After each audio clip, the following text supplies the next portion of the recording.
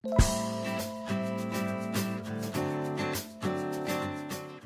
อฟ ทักษอรโพสต์รูปคู่นนกุล แต่กลับเจอคอมเมนต์เรียกทัวร์มาลงเต็มๆ ชัดเจนมากขึ้นเรื่อยๆ เลยสำหรับคู่ของนางเอกสาวแอฟ ทักษอร กับพระเอกหนุ่มรุ่นน้องอย่างนนกุลชานนที่ตอนนี้ทั้งคู่กำลังคุยกันอยู่ แม้ว่าจะยังไม่ใช้คำว่าแฟน แต่ว่าก็หวานมากๆ ไปไหนมาไหนด้วยกันตลอด แม้ว่าอายุทั้งคู่จะห่างกันถึง 16 ปี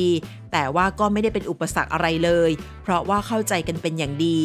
ซึ่งที่ผ่านมาไปเปิดตัวกับทั้งแก๊งเพื่อนๆ และผู้ใหญ่ในวงการที่เคารพรัก ล่าสุดแอปทำเอาแฟนๆฮือฮาเมื่อได้โพสต์รูปคู่นนกุล เพื่อโปรโมทซีรีส์เรื่อง หารักด้วยใจเธอ Find Yourself โดยขณะที่แฟนคลับและคนในวงการ เข้ามาชื่นชมในความน่ารักของทั้งคู่ กลับมีคอมเมนต์ดราม่า เพราะว่ามีชาวเน็ตรายหนึ่งเข้ามาคอมเมนต์ว่า ไม่รู้ว่าเรื่องจริงหรืออิงนิยาย ถ้าเรื่องจริงก็ขอไม่ตามนะแอปงานนี้แฟนคลับแอปและนนกุลไม่รอช้า เข้ามาคอมเมนต์รัวๆเลยว่า เชิญคุณยายตามสบายเลยจ้ะหวังว่าจะไม่เจอในคอมเมนต์หน้าๆอีกนะคะจนถึงขนาดนี้แล้ว ก็ยังมีคนที่ไม่รู้จักการยินดีกับความสุขของคนอื่น นี่ปี 2023 แล้วนะคะ ขอให้มีความสุขในชีวิตจริงมากๆนะคะ อย่ามาคอมเมนต์แสดงความทุกข์ให้คนอื่นเห็นอีกเลยค่ะ